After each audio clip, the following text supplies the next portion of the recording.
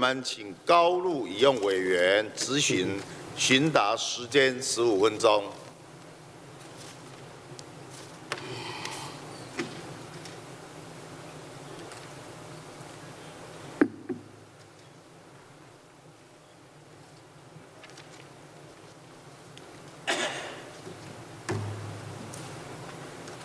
好，谢谢主席。那有请院长，呃，请院长。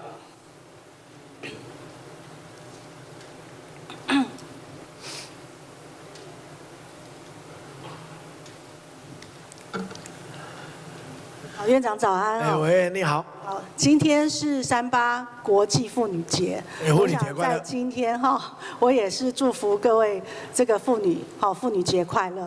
那我想，台湾应该要成为更重视妇女的国家，对不对？应该所以呢，之前的这个有关于女性的，不管是创业，不管是贷款，不管是这个任何的这个产业的提升，我觉得台湾应该要尽力的去营造这个妇女友善的这个环境，行塑所谓的妇女经济学。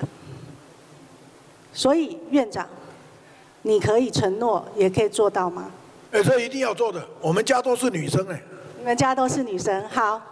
那我想大家院长也非常清楚哦，安倍经济学的第三支箭是什么？就是妇女经济学。所以呢，希望就是不管是现在所国际所知道的这个妇女的这个低薪的问题，还有就是增加这个管理阶层的妇女的就业的问题，领导这个产业，这希望能够成为苏院长上任之后很重要的政策。好，接下来。三月一号的时候，那时候是连续假期哦。我想院长也非常清楚，您特地到台东好来考察访视卑南乡以及都兰部落，对不对？好，那本席也非常赞同，就是院长是用这种接地气、走动式的管理，但是本席要在这里提醒哦，因为在排程上应该要注意行政中立。为什么呢？卑南乡长好是您的爱将吴炳瑞的助理，曾经，再来就是都兰部落是您的千金。好，她是都兰部落的媳妇。我想我在这边呢，也希望，哦，院长在宣示重大政策的时候，要注意一下投入地方的资源。我怕哈、这个被人家做文章，违反了这个行政中立，也提醒院长注意一下。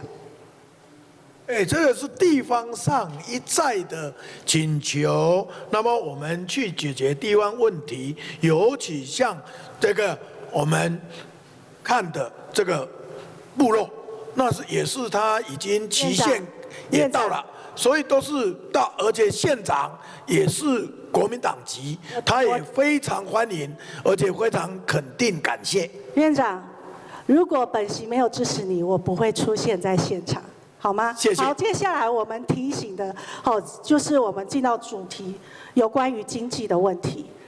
小英总统一上任，好，强调非常重要的五加二的产业，院长也非常清楚。但是呢，五加二有哪些产业呢？有智慧机械、亚洲细谷、绿能科技、生医产业、国防，还有这个新农业跟循环经济。可是这个七个产业，它要各自为政吗？诶，有的非常我到目前为止哦，我非常关心这个五加二的产业，也积极的协助这个行政院去 push 这五加二的产业。但是我们来看国建国造，大家看国建国造只看台湾的本土产业哈，只有做什么做壳。不管什么东西就做外观，可是里面呢，不管里面的这个精密机械，或者是这个软体，或者是非常重要的哈，我们国防里面的非常要清楚的去里面的一些中心的核心的设备，其实都是外资，其实都是国外的这个业者在做。那我们五加二的产业，希望是透过这七个产业，能提升台湾经济、活络经济。院长，我说对吗？哎，很谢谢委员指教。像您说五加二产业，像昨天我们院会刚刚有生意产业的报告，它就不是只有科技部，它的卫福部，它相关的部位都是大家一起合作，所以不是各自为政。另外，有关国建国造，我们也大大提升各方面自治能力。详细的情形，我想部长哦。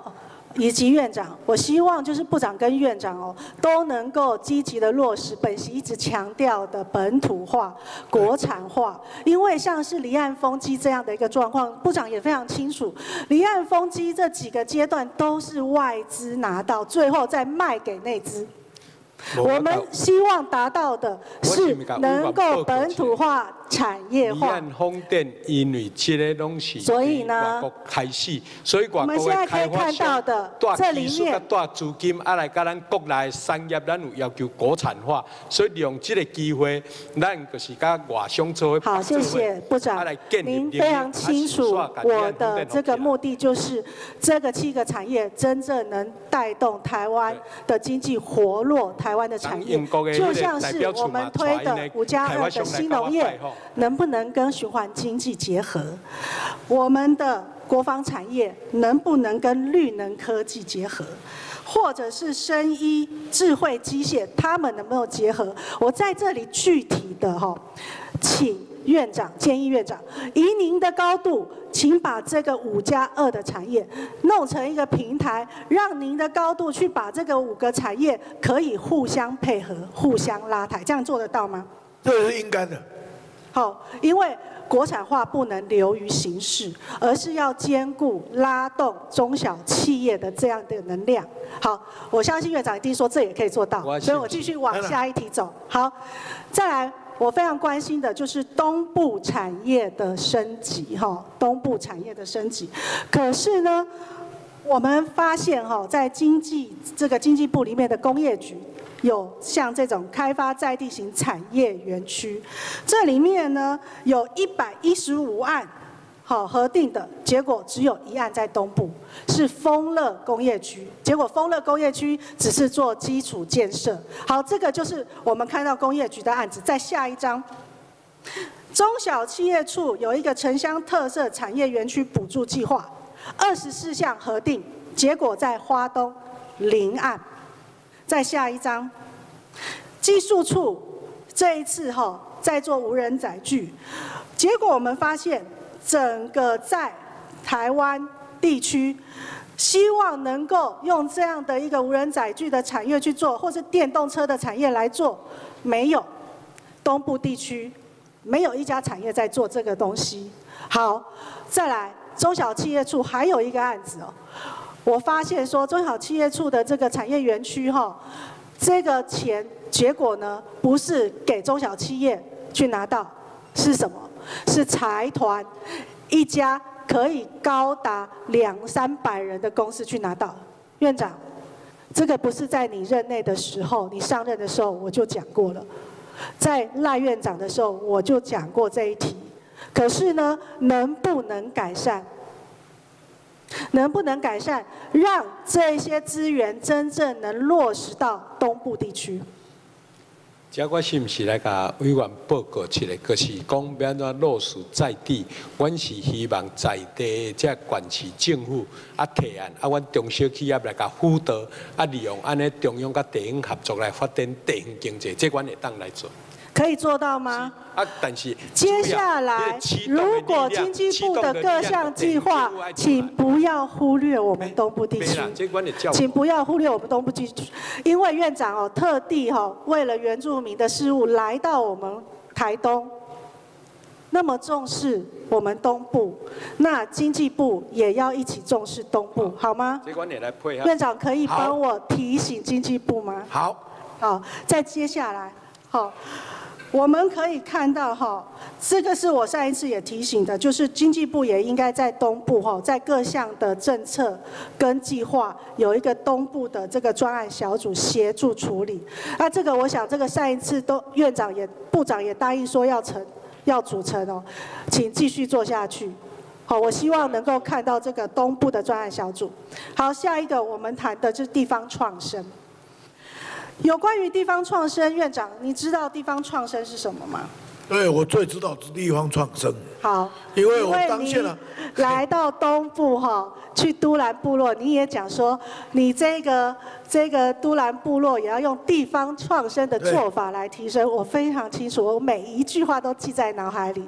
但是呢，地方创生是什么？地方创生就是地方有活力，国家有生机。这个地方有什么特色，我们让它发展起来，让这个产业也能够最后达到自给自足。那中在过程中，政府加强协力，最后地方不但有就业机会，甚至可以让青年返乡，最后成为一个大大的每一个地方地方特色发展之后，成为每一个地方整个这生机无限的。我们对最最希望在全台湾各处都找到这样。我自己实际做最成功的例子，比如在平溪放天灯，比如在贡寮海洋音乐季，甚至于在石门国际的风筝节等。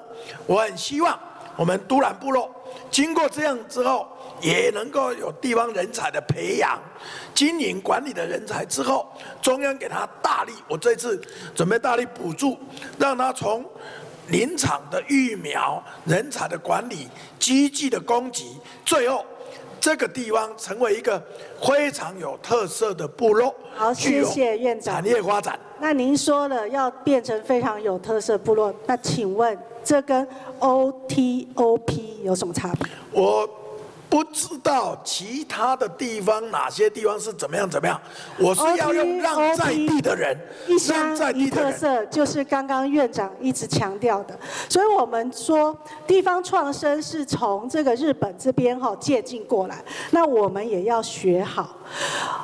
地方创生其实最重要的是减缓人口继续往首都集中移动所定定的，也因此它必须要有长远的战略还有眼光。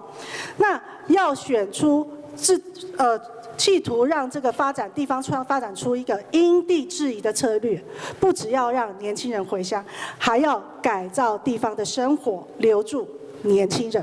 因此呢，它是要让地方变得有吸引人，年轻人回来之后不想要出去。所以你即便你说要放天灯，要做什么，它只是创造特色，而不是创造地方的吸引力。这就是我讲的。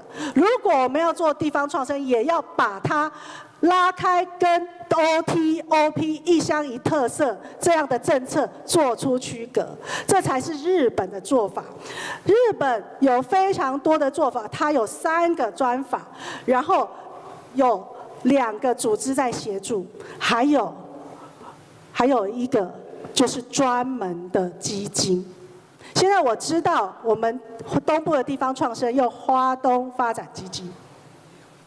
还有其他的基金，离岛基金，而它不是专门针对地方创生而做的，因为花东发展基金在民国一百年的时候，花东发展条例成通过之后，是针对花东发展，它必须要定定在地的综合发展计划，它跟地方创生不同。好。行政院在地方创生里面还提到一个叫做 TESAS 系统，好，我想陈美玲主委非常清楚，没错。这个也是抄日本的，好，R E S A S 就是 RESAS，好，那你看我们的 T E S T E S A S 系统我们。叫做 TISAS，TISAS 哈，那请问一下，这个系统弄出来会不会是一个蚊子系统？不会。我知道这个案子哦，在一百零八年三月十五号会上线，是在去年的时候绝标，然后呢，招标金额是两百七十万。好，两百七十万的案子，但是比较日本的这个 RESAS，日本的这个部分呢，它是作为可以掌握资讯、然后当日本进步的力量。那它的里面包含了产业结构、人口动态、人口流动、大数据整合在视觉化之后，让每一个人都能够轻易的进入到那个网站，然后呢了解在地的需求，然后了解在地的状况。可是我们如果接下来三月十五号要上网的 TISAS 有没有这些功能？有跟委员报告，我们是用原来既有的相关的这些资料库去做一个整合。啊，那另外一个，我想那个不是招标金额的问题，关键是我们里面的内容能不能发挥台湾地方创生所需要的所有的我在这边哈，最后还是要提醒，日本曾经用 RISAS 举办竞赛，结果得做出一个就是可以做出地方创生的计划，在日本哦，得奖的是高中生。我的意思是说，如果我们这个计划能够做到，连小农、连学生都可以看得懂，然后做出一个地方创生的这样的一个构想，这个才是台湾地方创生能够做到的一个行动。